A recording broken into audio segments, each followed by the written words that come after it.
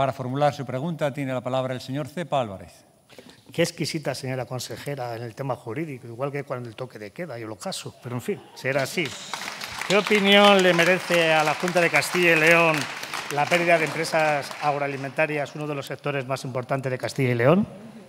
Gracias.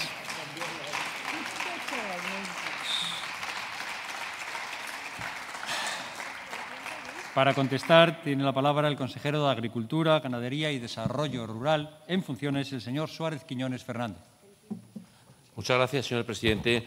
Pues, señoría, como usted puede comprender, la Junta de Castilla una apuesta por la creación de empresas, por la actividad económica, por el empleo y por la competitividad de las mismas. Por lo tanto, no es un buen dato. Pero es un dato que hay que analizar no aisladamente, sino profundizar, porque hay que analizar eh, el mercado en el que se crean y desaparecen empresas constantemente. Hay que ver cuáles son las causas, las causas coyunturales, ver cómo se comporta el mercado, cuál es la actividad económica del mercado, los datos económicos y comparar. De eso surgen eh, aspectos mucho más eh, sustanciales, como ahora a lo largo de la pregunta comentaremos.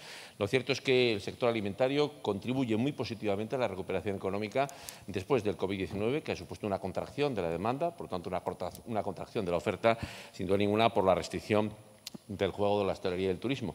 Y, en consecuencia, es una coyuntura general en España, pero Castilla y León, como veremos los datos, no se ha comportado tan mal. Muchas gracias. Gracias. Para un turno de réplica tiene la palabra el señor Cepa Álvarez. Gracias, señor presidente. La industria agroalimentaria es fundamental tanto para la Unión Europea como para España como para Castilla y León. Nuestra comunidad autónoma representa el 5% del PIB y el 28% de la industria manufacturera, o sea, muy importante. Pero la verdad es que no está sentada de problemas. Se puede, podríamos resumirlo en cinco. Falta de innovación, desfase tecnológico, las exigencias de los nuevos hábitos de consumo, dificultades de financiación y la compra tradicional que está en peligro. Entonces, eh, la pregunta es, ¿está la Junta de Castilla y León aportando soluciones a estos problemas? Pues en nuestra opinión creemos que no y lo voy a intentar explicar. En el año 2020, según el informe anual de la Federación Española de Industrias Alimentarias y Bebidas, descendió la facturación en un 5,3%. Efectivamente, aunque aumentó el consumo de, los hogares, eh, las exportaciones no se portaron mal, pero el tema del cierre de casi que la, le perjudicó. Estos datos, además, los corrobora el estudio indicado en los antecedentes eh, que ya en el, año, en el año 2020 se cerraron 156 empresas, que ya venía del año 2019 en el cual se cerraban empresas, y también según los datos de la Seguridad Social, también se ha perdido un 5,97% en el empleo en este sector. Y hablo exclusivamente de la industria agroalimentaria, dejando fuera la industria de las bebidas y la industria de servicios. Ante esta situación es necesario analizar la política de la Junta de Castilla y León en esta materia en sus tres acciones más importantes, las ayudas económicas a las industrias, el instrumento financiero y las campañas de promoción. Pues bien, en cinco años solamente han aprobado 47 ayudas a las industrias agroalimentarias.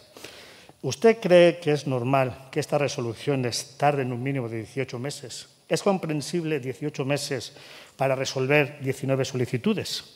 En abril del año pasado se anunciaba bombo y platillo 65 millones de euros para ayudar a estas empresas. La verdad es que no sabemos el resultado final de la convocatoria del año 2019 porque todavía no se ha resuelto, pero lo que sí sabemos es que la única modificación crediticia que ha habido este, el año pasado fue, eh, fue simplemente para pagar inversiones del año 2018 de las industrias agroalimentarias.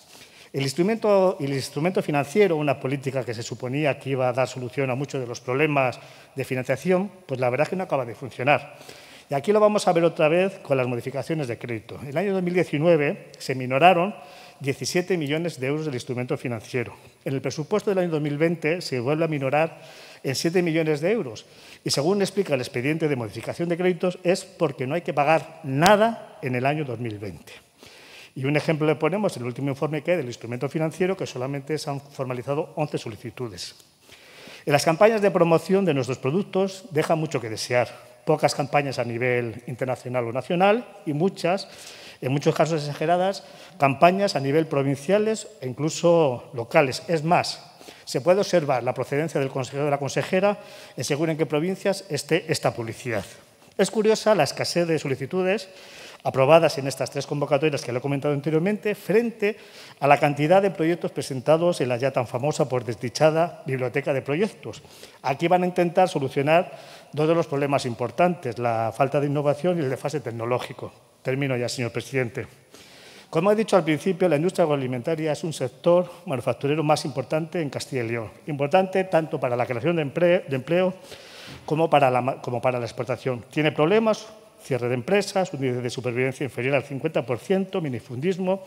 Y la Junta de Castilla y León, como siempre, solo hace publicidad y promesa y siempre las incumple reiteradamente. Nada más y muchas gracias.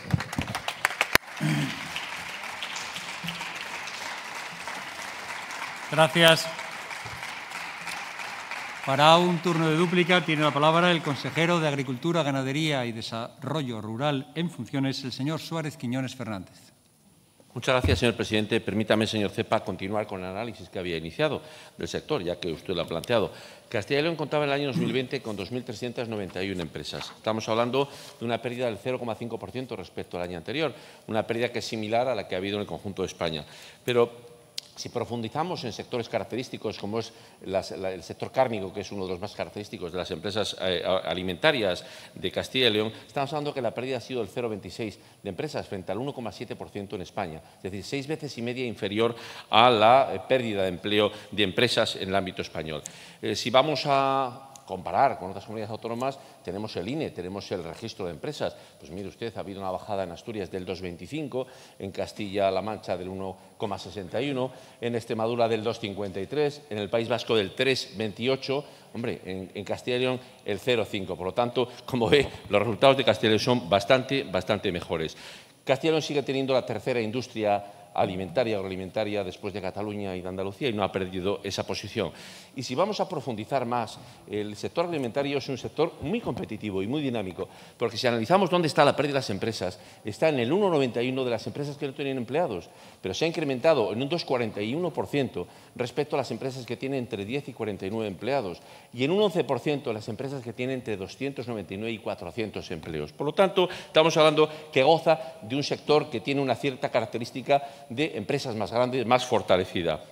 Su peso económico, importante, un peso económico sobre el conjunto de la industria manufacturera mucho más relevante que hay en España el peso, como sabe usted perfectamente, es mucho mayor. Y desde luego la producción industrial muchísimo mayor. El informe COBA del que usted habla, frente a un 5,8% de la industria agroalimentaria eh, que, se, que, se, ha incrementado la producción industrial en Castilla y León, es el 1,19 en España. Por lo tanto, también un peso de producción industrial mucho mayor que comparado con los términos nacionales. Y desde luego en empleo en empleo, sabe usted que el peso en el empleo de la industria agroalimentaria es superior respecto a la industria en general que en España. Así como en España está en el 19% la industria alimentaria respecto a la industria en general, en Castilla es el 25, casi el 26%.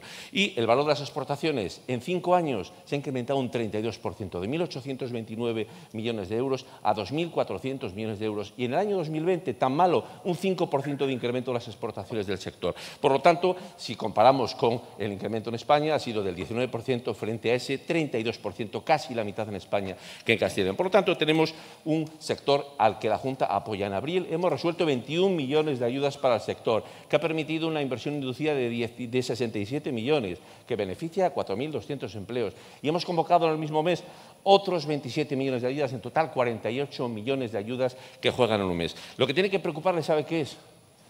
¿Sabe qué tiene que preocuparle? Las políticas del Gobierno de España en materia energética, el incremento de la factura eléctrica, el Nutri-Score, la demonización de la remolacha. Eso sí que tiene que preocuparle, porque eso y otras lindezas ponen en peligro los intereses de Castilla y León. Muchas gracias. Gracias.